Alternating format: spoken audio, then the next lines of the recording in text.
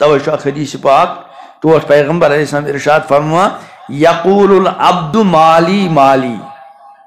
انسان چھ ونان میون مال میون مال چھنا ونان ہچم یوتا ابی زمین ہچم خشکی ہچم باغ ہچم فیکٹری ہچم کارخان یم چم گاڑی ام سارے چھ میان اور ام سن زین کارتی کیا ونا یہ چھ فلاں خی صبن چھ ہمسائے اور سرکردی کارتی ای ونا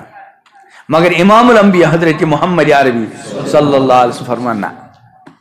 ونان سہ چھ ونان ہت میون، یہ میون یہ میون. حقیقت مز کیا ام سن فرما ان مالہ مم مالی سلاس. حقیقت چیز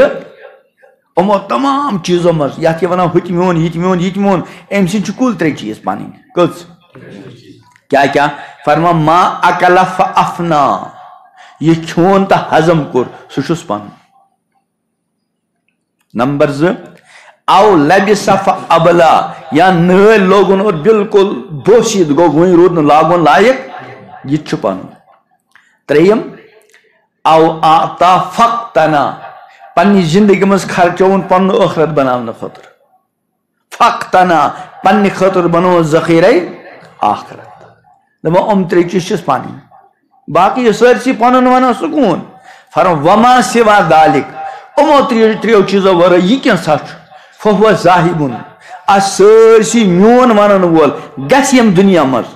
اور یا سرسی اس ہت میون ہت میون ہت میون تاریکو للناس یہ سوری کمن خاطر ترائی لکن خاطر